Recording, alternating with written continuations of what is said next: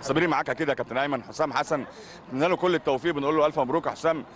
اللحظات اللي بتنزل فيها حسام بيكون في فرق وبيكون في روح وبنشوف الضغط وبنشوف الشخصية. الفرصة بتيجي والتوفيق بتاع ربنا بتنتظره. ببارك لك وببارك لكل لعيبة النادي الأهلي ولسه مستنيين منكم كتير كمان يا حسام. والله في البداية حابب أشكركم وحابب أشكر آه، ربنا على المكسب دوت آه، لأنه جه في وقت آه، كويس جدا يفرق معانا معنويا دي بداية موسم فلازم ندخل الموسم بداية قوية. لأن الموسم اللي فات إحنا لازم اتعلمنا منه كتير لأن إحنا دخلنا وبدأنا كويس وفي النهاية خسرنا البطولات اللي إحنا شاركنا فيها. لا إحنا إن شاء الله مركزين. والنهاردة حابب أشكر اللعيبة وأشكر الجهاز الفني ل- كل اللعيبة الصراحة بره وجوة.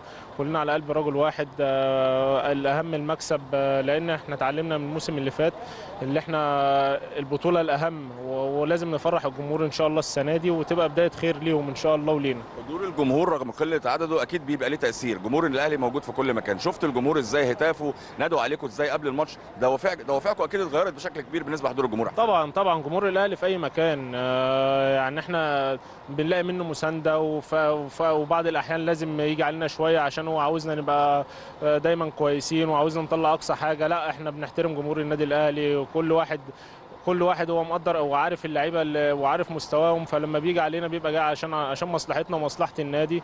فلا إحنا بنشكرهم دايما آه، لأنهم دايما في ظهرنا وإن شاء الله إن شاء الله يا رب تبقى بداية خير لينا.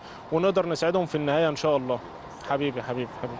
بنشكر أكيد وبنبارك كل فريق النادي الأهلي.